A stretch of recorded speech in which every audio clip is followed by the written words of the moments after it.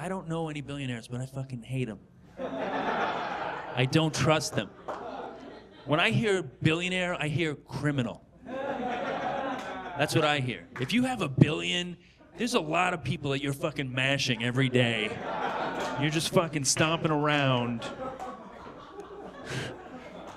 while billions flow into your fat head. Anytime I see a billionaire, you ever see like a billionaire like in a photograph where they're like smiling? Anytime you see this photograph, like 20 people just died. And if they're shaking another billionaire's hand, like a fucking uh, a thousand died. Just think of that every time you see that picture, and they're like cutting a ribbon or something, they're fucking slitting somebody's throat.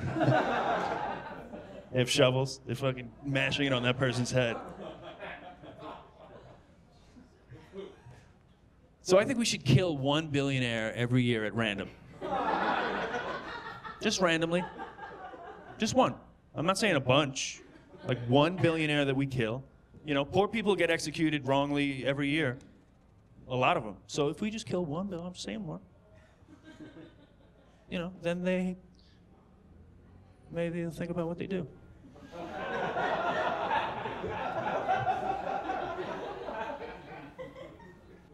I don't really want anyone to die, but I do want them to think they might.